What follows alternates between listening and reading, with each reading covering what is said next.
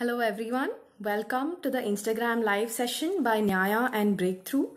Uh, today, we'll be discussing the topic of domestic violence during the lockdown, and we have a special expert with us, Naina Chaudhary ma'am. Uh, I will be inviting her to the session soon.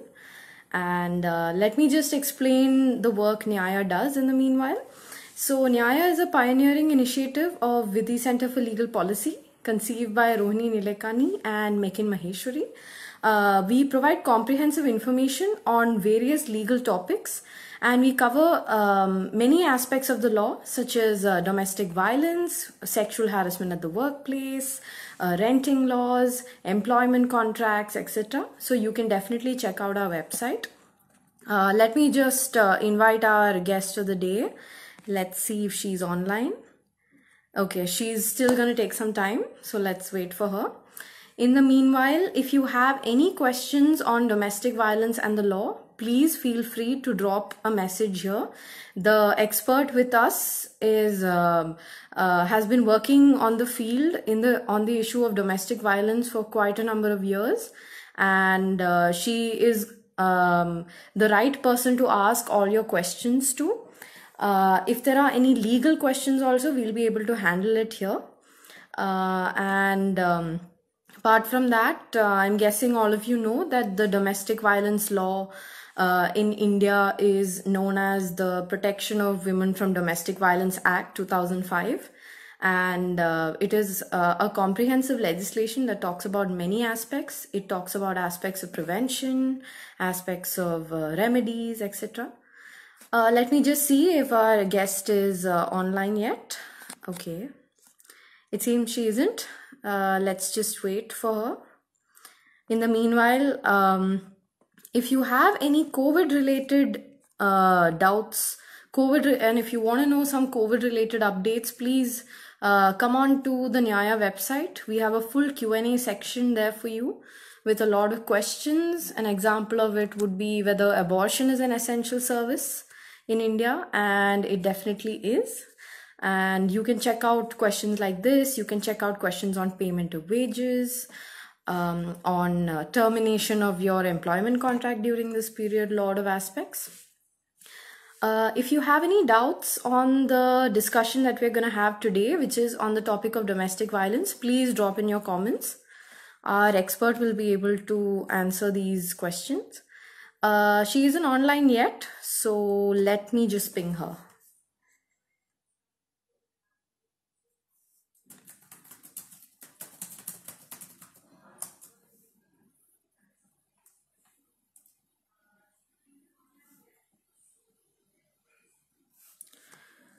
She'll be joining soon.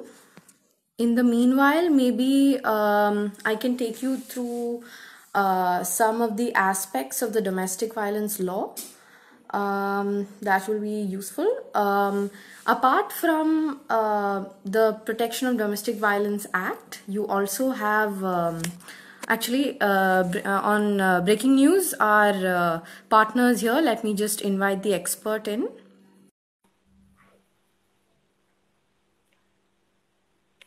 Waiting for breakthrough team. Hello, ma'am. How are you? Can you Hi, hear me? Malavika. I'm good. Yeah, I can. Yeah. All right. I'm good. How are you?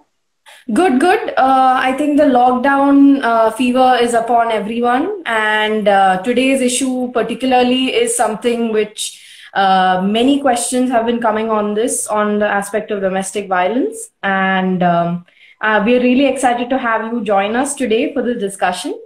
So, uh, before I begin, let me just introduce uh, Breakthrough and our expert for today. Uh, Breakthrough is uh, has been uh, an organization working in the area of discrimination, violence against women and children. And Breakthrough began in 1999 and um, with the song Mann Ke Manjeere to bring the issue of domestic violence into the mainstream using popular forms of media like music video storytelling. They also have a national campaign launched on the issue of domestic violence known as Bell Bajao in 2008, which has uh, which encourages bystander intervention. And uh, today joining us we have uh, Naina Chaudhary, who leads all the programs at Breakthrough.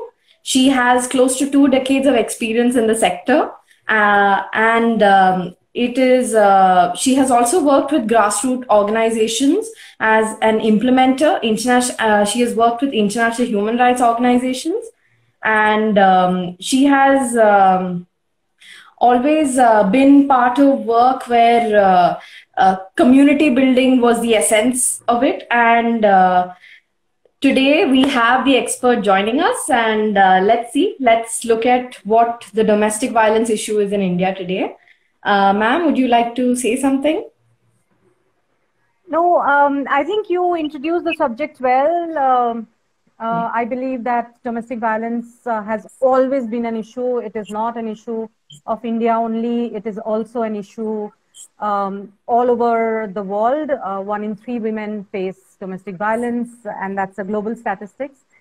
And yes. um, with the lockdown time, like you have rightly mentioned, it is uh, it's uh, taking huge proportions. So, good time yes. to talk on it. Yeah. Exactly. So, um, there are uh, i was mentioning before you had joined ma'am that you have the domestic violence act 2005 and you have the indian penal code under section 498a that addresses domestic violence on cruelty by husband and relatives. But uh, today i would like to ask you because a lot of our audiences are non lawyers and they just want to understand the subject as a subject which is not purely legal so this is where we want your expertise, ma'am. Uh, what are the different forms of domestic violence? Like the law has outlined different categories, but in your experience, could you discuss a little more on this?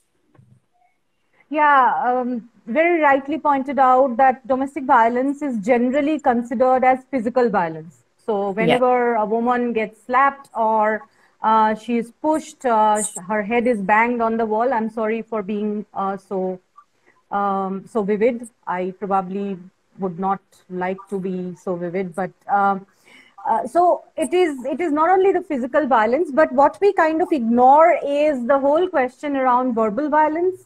Yes. There is a whole range of emo- emotional violence that takes place, and yes. there is a whole range of financial violence. Um, as of today, I was part of a panel uh, with uh, with a group called Miss Malini, which is an entertainment channel, and uh, and one of the cases that came into that panel was this that the woman is always given money by hmm. the husband and yes. it is apportioned you know you, uh, so the woman always has to uh, there is a tight control over the money and the woman was not allowed to work after um, after her marriage and at times um, at times actually husbands say or the or the in-laws family say that we allow them to work. That's also a very interesting like word. some sort of ownership here, which is yeah. wrong itself. yeah. So, uh, so it is. Uh, firstly, this is allow, and then they also say that they ask the woman to work out, uh, work outside home and earn, but the woman herself is not interested. Where this is where uh, breakthrough constantly talk about double burden so if you look at uh, women working uh, outside, they have to take up all the work of home. None of the work is shared by anybody else. And then the in-laws family take a higher ground saying that, you know, we are allowing this woman to go out. So finance, financial violence, emotional violence, verbal violence are the things that we want uh, people to learn about. And uh, it is very important because you need to identify the forms of violence to be able to even say that yeah. that there is violence going on. Yeah the first step is to recognize. Yeah. Exactly ma'am. Many people don't understand like for example the situations that you put out regarding uh, monetary violence economic violence which is actually a listed violence under the law. This is something many women don't recognize themselves because they're so heavily dependent on their family for their day to day earnings. Questioning it itself is a big problem in this society. So many issues come up like that. Yeah, and, absolutely. Um, if I can, if I can give an example, I have worked in a big corporate, uh, and in which uh, women generally drove SUVs and came to office, and uh, some of them had to fudge their financial, uh, uh, their earning, their salary slips, so that they mm. could send money to their own parents. That that's so a terrible situation. yeah, but that's that's the kind of uh, that's actually financial violence. That's that's a form mm. of violence uh, which takes place and uh, we do not recognize this as a as violence because uh, we have been told by the society that once you are married everything that you own belongs yes. to another family so so you know we actually are okay hiding it that we are going and paying money to our parents. Yeah. a lot of systemic um, um, like push towards such violence also. Like you have so many in-laws you have so many husbands who truly believe that this is the place of a woman which is in fact a very problematic way of thinking about a woman's independence and autonomy itself. That itself is a main factor which sort of increases these domestic violence issues. Like for example asking for your own personal finances is see is looked upon as a bad thing. Hmm. when in fact it is a right for you to access such finances. So this is uh, yeah. definitely an issue. Yeah abs- absolutely yeah and on that note ma'am can we just uh, discuss who all can make a complaint of domestic violence? Because um, like under the law there's a lot of presumption that only the victim or the person who's suffering can do this but that's not true. So could you elaborate a little on this? I think you should elaborate on this uh, much more, Malvika. But yeah, but um, like you have rightly already given me the hint, you are being a bad examiner. Uh, you uh, so you, yeah, you other people can also uh, report domestic violence. It doesn't have to be, but you know when when we talk about protection of women under Domestic Violence Act, it talks hmm. about women in particular. So hmm. it the perpetrator can be anybody. The perpetrator can be a man, can be a woman, can be of any other gender, but it has to be a woman who is being the uh, being violated upon. So PWDVA mm-hmm. covers uh, uh, women.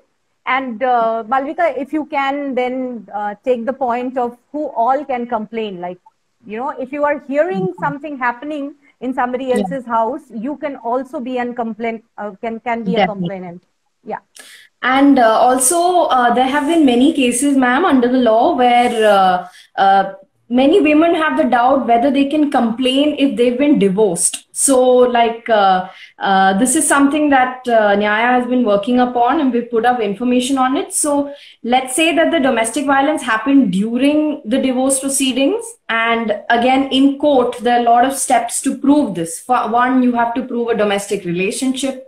Secondly you have to sh- uh, prove something known as a shared household. That is you stayed in a matrimonial home, commonly known as a matrimonial home, etc. So women can definitely file domestic violence complaints during the divorce, even after the divorce. Many people think that the violence ends the second you get the divorce, which is not true because you may be harassed at your new place of residence. Situations such as this has come, and this is something that we've uh, understood from our case law discussions that. Um, uh, a woman, regardless of her religion, regardless of her status, economic status, none of it matters. She or anyone on her behalf, as you rightly pointed out, can file a complaint for domestic violence, ma'am. So, um, um, let's also look at the situation that we're in right now. So, because of this COVID lockdown, there are uh, a lot of women like as you have seen the statistics and the number of calls that the national commission for women is receiving right now. So what are the immediate steps that women can take if they're facing domestic violence during this period? If you have any suggestions ma'am. Um, yeah it's it's a very tough question. What can women do if they're facing violence? I i would say that uh, uh, the question of physical violence is, of course, it is um, it's beyond everything, and I do not think uh, if you were in a in many uh, many homes that seemed safe before the lockdown are now becoming very unsafe. Yes. So, uh, so, so imagine an abusive household, which was already uh, where there was a pathological relationship that was already there, and uh, the abuse actually increases. And if you have somebody who is already facing a lot of emotional trauma due to emotional abuse, so mm. this is a time when her trauma actually grows man- many folds. So if you look at it, Breakthrough has put together a list of uh, list of resources. If you go to Breakthrough's uh, website uh, and uh, the Facebook page, you can see what are the mental health support you can take. Now, if you are facing uh, uh, physical violence, your options probably are that um, if if you were already living in a violent house, if you can keep some people informed that you know that I'm going to give you a missed call and which is like uh, like an alarm or if you can hide yourself and make a call. And at this point in time, I also um, I also want to say that there is a huge role of the bystander. If you are hearing something in going on in somebody else's house, please do not think that this is somebody else's matter. This is this is a thing between two uh, two people. Uh, violence is not a private matter at all. So uh, uh, break, uh, Breakthrough has a campaign which talks about ringing the bell. Yes. So, as a bystander, ring ring the bell. Think of uh, breaking that moment of violence. You can run away after ringing the bell. You can ask for a bowl of sugar. You can uh, you can say that my oil is over. Can you help me because because the stores are closed. So um, so bystanders have a huge role because when when you break that moment of violence, you are actually giving the victim some time to lock herself in a room and call somebody she trusts. Yes. So that's very very important. And like you said, that PWDVA does not only say that it has to be the victim who has to call, but if somebody else is hearing this kind of thing going on, they sh- they should be able to call too and call up police, call up 100. Yeah. And if you have helplines also.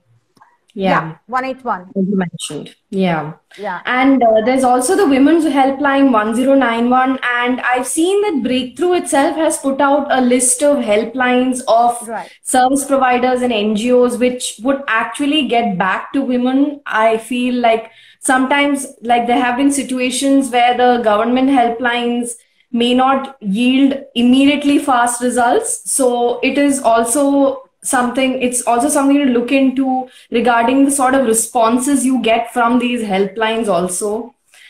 Like um, all the list of NGOs that the breakthrough has already put out have uh, are uh, working on a daily basis uh, regarding yes, Yes. Yeah. So, yes, and uh, some of these numbers we have ourselves called too and found out whether they're working and then only we have put them out and uh, everybody is in trouble. All the ngos are in trouble. They are all struggling. Um, even 181 is uh, under trouble. So uh, so it, it's it's very different times that we have to handle. Police is probably the only agency that has the lar- that has the highest uh, amount of mobility as, at this point in time that's so mobility true. is very important. And um, another thing that I wanted to point out was this, that this is not going to be easy. If you want mm-hmm. to get out of a violent situation, um, it it will never be easy. I, very recently, one of my colleague, um, who I am very proud of, she uh, she actually helped a woman uh, get out of a violent home, and it is on her own accord because Breakthrough does not take casework we work mm. on prevention, but we do not take casework. But she worked on her own accord and she pulled up all her resources. She called up everybody and was at the case from morning 9 a.m. to night 10:30 p.m. till the woman reached a safe space with her two uh, very young daughters. So I would say that probably when we say each one for another person, we should also yeah. be there out for other people. Yeah. Ma'am, the key takeaways I, I feel out of this particular point is that one, keep your uh, loved ones close so you can contact them whenever you need them. And definitely on the point of mobility, you're right when you say that the police are the most mobile at this point. So calling the uh, police station for in urgent violence itself is a good uh, way forward in case there's imminent danger. Yeah. Yeah, Malvika, you will probably be able to elaborate more on this point. Women at times fear that they have to go out of the home if they complain. But PWDVA actually makes a provision in which the violator can be taken out of the home and yes. woman can stay there. Yeah. Definitely. Uh, even though in uh, so under the law you have a woman can definitely ask for a residence order and for protection in the same house that she's living in. For example let's say that she's uh, a married woman living in a joint family and uh, her uh, husband and in-laws are causing domestic violence. When she goes to court the court can definitely ask uh, grant these orders where the woman can go back to the same place or the court can ask the husband to provide alternative accommodation. And yeah. most of the time what happens is the husbands don't want to pay. So instead they will be uh, asked to pay maintenance to the woman which is a form of monetary compensation. And um, it's not easy to actually stay in the same home after an incident yeah. of domestic violence. And court processes also take up time because it takes time to get the residence order, but uh, it's always good to actually involve service providers and NGOs at the intermittent stages because you also need safe spaces to go to. So, um, yeah. Yeah, so that should bring us to the lack of those safe spaces. Yeah. Definitely. Yeah, so one of the things that we constantly face in the question around domestic violence is where is the where is the home where a woman can feel safe and put up a case against uh, a case against the in-laws or or the husband, the perpetrators. Uh, what happens even even for that matter we are only talking about domestic violence in the context of marriage but there is domestic violence in the context of in in the natal families where your yes. father is violent, where your mother is violent, or your brother is extremely violent, and the only way you see, um, and PWDVA covers that. It, it is not about your husband and in-laws families. It is also about your father. And during this time, Malvika, we are also getting cases wherein uh, women who wanted to marry on their own accord hmm and uh, there was already a fight going on at home. They feel completely now locked down with their perpetrator. And this perpetrator in this case is a father. Hmm. yeah is her own father. So and uh, she's fearing for her life. And we know those things happen.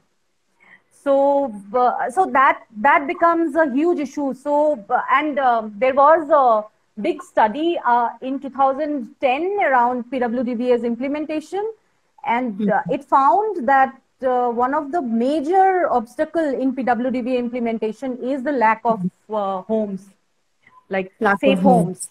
Yeah, that's true. Even now during the COVID situation, I haven't heard of any provisions by the government itself. So let's see um, what's going to happen in the coming few weeks regarding the lockdown. Now that the issue has been highlighted quite a bit out there. So, uh, ma'am, uh, you have rightly pointed out that uh, uh apart from the husband, the in laws, and you said uh, even like the brother or sister could be perpetrators. So, these are all the people that you can complain against. And uh, even under the law, there have been cases where minors can also be perpetrators of domestic violence. And that's something which uh, has been recognized in one or two cases in passing, although the I, since um, like the number of cases of minors have been a little low, it's mostly like from your experience, ma'am, who have been the most common perpetrators of domestic violence? Like, who all can you complain against? That way? Yeah, you generally in um, the problem is that uh, to complain under PWDVA, right, Malvika? Yes. How do you how do you do a DIR? because uh, uh, some of us have handled cases uh, uh cases individually and yes. i had a colleague uh, who was facing domestic violence in bangalore hmm. an ex-colleague and uh, she she had to be supported and some of us got together and we were, we were trying to support her the problem became that uh, that she wanted to give a give it in writing to our nearest police station saying i'm not taking away anything. I'm just going away. Hmm. yeah. So police kept on pressurizing her saying that you file a complaint under 498a or we are not going to look at this. Okay? And when she came back to her native state i will not name the state just to protect her identity uh, when she came back to her native state, uh, we tried to uh, look at the protection officer. We look her, look mm-hmm. him up. We went and tried to file a DIR with the protection mm-hmm. officer. The protection officer actually asked her to get a court order to get a DIR done. Can you imagine the lack of uh, uh, information that is available with the protection officer? So the main question is whether whoever is the perpetrator, whether we will be able to file a DIR or not. And if I do not want to go to police, the Indian mm-hmm. constitution has given me a fantastic law. But where is the implementation is the question. Rightly pointed out, ma'am, when it comes to the authorities that you approach when you want to file a complaint, the domestic, the PWD Act talks about the concept of a protection officer and you rarely find them. You it is so hard to first of all find a protection officer and from the incident you just mentioned um, when the protection officer is asking you to get a court order to register dir it goes against the principle of the law itself. yeah because yeah. the PWD law says that it's the duty of the protection officer to file the DIR for the woman. And for all the users who are listening, a DIR is a domestic incidents report. It is in layman's terms similar to an FIR, but particular for domestic violence cases. So, um, ma'am, you're absolutely right when you say that um, to file a complaint itself is a big hurdle, whether be it through the law or otherwise like like um, right. most of the time uh, from whatever i know from the amount of cases i've read women directly approach lawyers because yeah. then once you enter the court process then you get stuck there but again this is a big issue as you rightly pointed out and ma'am, what uh, from your experience, since a lot of campaigns have also been happening on breakthrough, what has the response been of authorities in India regarding domestic violence? Like, are like I don't know if you have come across these cases, but are the police being very apathetic to the situation? um, well, I I think that the police actually come from the same socio-cultural background that we all operate from. Um, I really like uh, one TED talk uh, by somebody called Deepa, and she says that whenever we, uh, the way we are raising our daughters, we are actually getting them ready to be abused in their in their marital homes because you are constantly telling them that that's your home marriage is your final goal. That's where you are going to go. That's where so and and you do not matter. Your wishes your dreams do not matter. What matters is what they think about you. Everything is about them. So what happens is this is the same socio-cultural environment that the police has also grown up in. Yes. So in the recent case that I was just talking about, uh, this woman was bleeding from her nose. And the police was telling her that, you know, maybe today your husband was a little more angry, but he's generally not this angry, right? So why don't you go back? Yeah. So so we always find police like this and and i will share a personal experience of doing police training which okay. I was not doing as a breakthrough. I was doing as a person uh, who has worked in gender rights for a long, long time. And uh, when we were in somewhere uh, around uh, northwest Delhi, which is around the Sonia Vihar area, and we were going from police station to police station training people um, we asked uh, what do you do? What do you say? What is the first thing you say when a woman comes and says um, i have been beaten up or i have been violated against so the police they were all sitting in my uh, uh, in my training room and they said um, we asked them what have you done? Wow. Okay?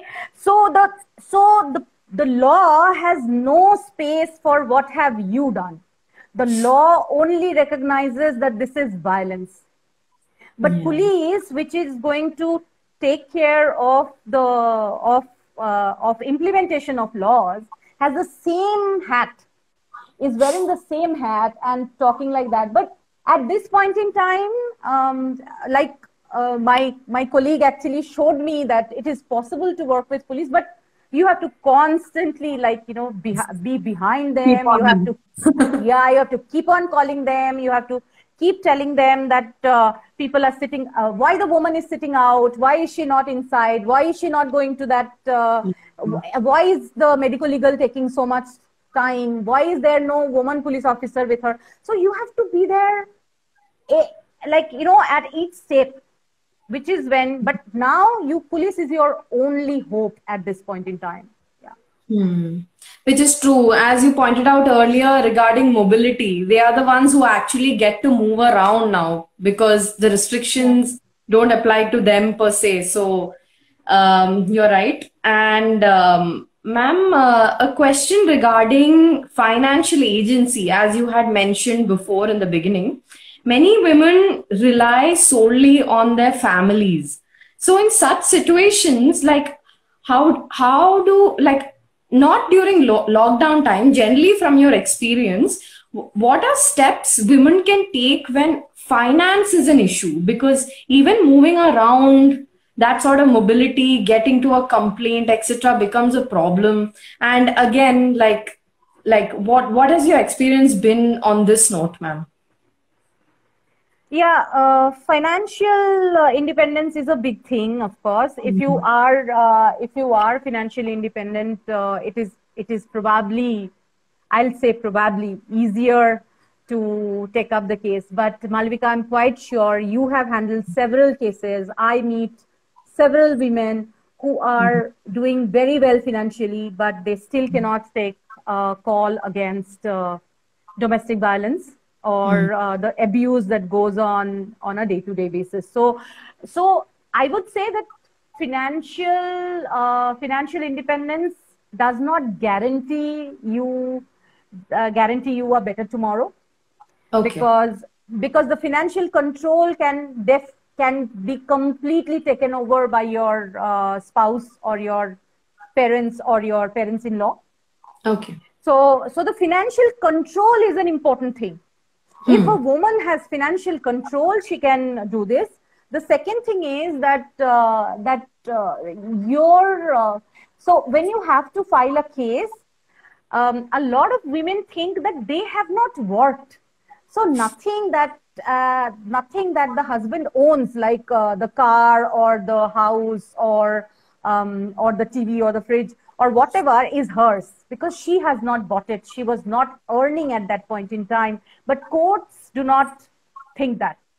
Hmm. Uh, Indian law actually thinks that if a woman has been part of your house for so long, she has subsidized you. She has made it possible for you to have the lifestyle you have at this point in time. So this is something that uh, that so the court is going to always make sure that you get the money to mm. run your uh, run your regular uh, household activities. Um. There are loopholes in that, of course, but but it is possible to uh, to get financial support even when you are not in the marriage. Yeah, definitely, ma'am. And um, coming to a very important question, since we're on Instagram like how can social media be of help for women facing domestic violence or otherwise bystanders etc like how can you use social media to sort of help yourself out of domestic violence? Can you use it? And what do, what suggestions do you have for women who are a little more tech savvy? Yeah, good question. I'm. I do not think I have. A, I have an. I have a ready-made answer because okay. uh, social media is uh, is a, like a double-edged sword. Yes. So if if you are putting out uh, your uh, your vulnerability out there and you are saying that you are being abused, you may get support. You may get into bigger trouble uh, right then and there because somebody who you do not want to see this is seeing it. But uh, but women have been supported if they can put the firewalls well, if they can really keep their uh, perpetrator families uh, completely blocked. They can reach out for support through social media. They can use the uh, phone facility like Messenger or a WhatsApp facility in which they can reach out to friends. I yes. would. I actually have. Um, I have. Uh, I have a request for people who are not going through uh, domestic violence or violence themselves, but are um, but are empathetic human beings. Keep it. Keep a watch out. If you are reading something which seem a little off, reach out to this person in the in the inbox and ask that you know if this person wants to talk if there is anything that you can do and hmm. uh, support this person and also tell that there are several things that uh, you can uh, she can think about. Just just show your support. Say that you are there you will be there for that person. That's very very important. A lot of domestic violence survivor survivors feel completely alone. They feel yeah. very lonely. They feel that nobody is there for them. They uh, they go through extreme mental trauma going through this. So that's one request. The second request is don't be a perpetrator. So the perpet, even on social media, in social media, we are happy being a troll.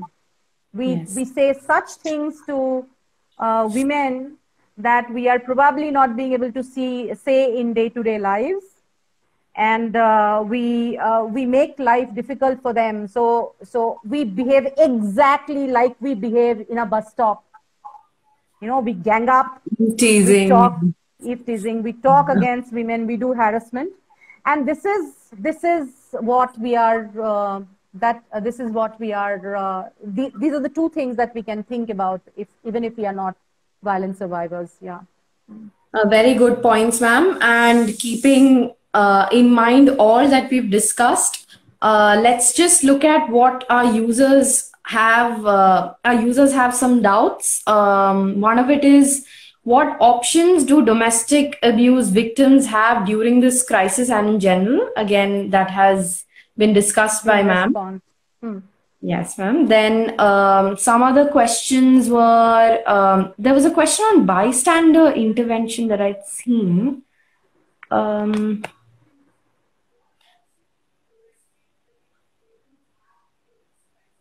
Okay. Uh, a lot of uh, likes and waves here, just going through all of them. Uh, with limited privacy during the lockdown, how easy or difficult is it for women to access helplines? This is a very good question, ma'am. Maybe you can address this. Yeah, it is very. It's it's uh, it's very difficult for women to access helplines. Um, very difficult even calling somebody which is why i was talking about that if if uh, if you are in a violent home or you know that somebody of some friend of yours is living in a violent home create a code between you 2 mm-hmm. you know say that uh, like uh, i i was supporting a neighbor at one point in time who was in a violent relationship and the the code between us was that she's going to send me emails, but I'm not going to respond. So if she's sending me emails, I'm just going to keep them in my draft box or uh, store them away because she needed them later on for uh, support. But mm. uh, I was not supposed to answer. So create these kind of uh, codes between your friends, be a supporter. Um, it's extremely difficult to call. So that's why we think that the moment lockdown is over, uh, the calls to the helplines will go up many folds yes. because then women will be able to speak.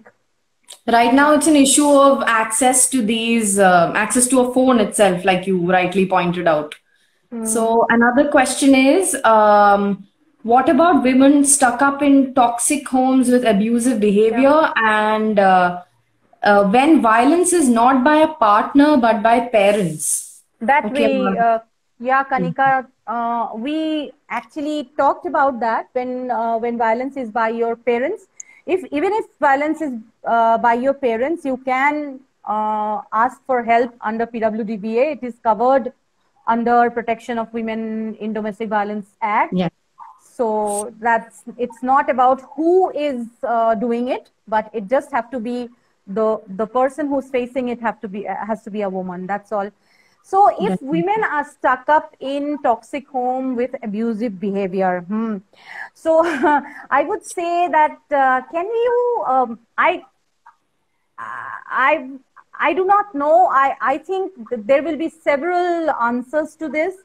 One is this that if this is starting at this point in time, that it was not there, but it is starting at this point in time. So uh, try and um, try and talk about this. Mm. Point this out as a toxic behavior.